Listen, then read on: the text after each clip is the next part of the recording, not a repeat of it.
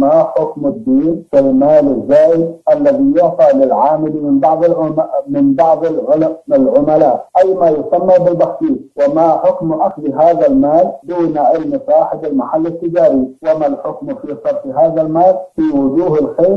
وهل يعتبر هذا من الأمور التي أنكرها النبي صلى الله عليه وسلم حينما سأل ذلك الصحابي من أين لك هذا؟ جزاكم الله خيرا. العامل الذي في أو غيره أو في المصنع أو غير ذلك من المحلات التي يرتادها الناس لشراء السلع منها أو المصنوعات يجب عليه أن يصدق في معاملته مع الناس ولا يجوز له أن يأخذ من الزبائن أو من العملاء شيئا من المال وإنما يقتصر على راتبه أو أجرته من صاحب المحل. لا يحل له إلا مرتبه أو أجرته من صاحب المحل ولا يجوز له أن يأخذ من الزبائن شيئا. لأنه إذا أخذ شيئا من الزبائن فإن هذا يسبب التلاعب. البيع والشراء وربما يخون صاحب المحل ويتساهل مع الزبائن بسبب هذه الرشوة أو هذا العطاء الذي يعطيه الزبون له يتساهل ويضر صاحب المحل بينما يتساهل مع من يدفع له من الزبائن ويتشدد مع من لا يدفع له من الزبائن الآخرين. فيسبب ذلك إضرارا للزبائن وخيانة لصاحب المحل الواجب على الأجير أن يقتصر على أجرته وأن يصدق في تعامله مع الناس وأن يعمل بالنظام الذي يسير عليه المتجر أو المحل.